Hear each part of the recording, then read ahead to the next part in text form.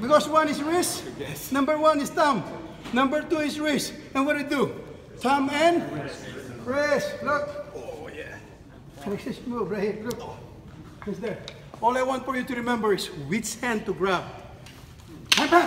Like this. Now I'm already number one.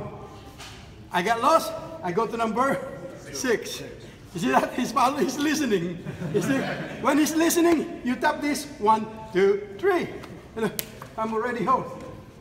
Like, like Grandmaster Bobby, he like to hit the shoulder. I like to hit elbow. You see it? Look. And when you turn it, look. That makes sense? So let's work. One, two, three. One, two, three, four. So I can hit him to the ground, pick up right here, knock him out. Why not? Right? See that, see that move? And then the other one is drill sergeant. When you come up from the side, I lost the power. You turn it right here. You pick this up and drill sergeant. Why not?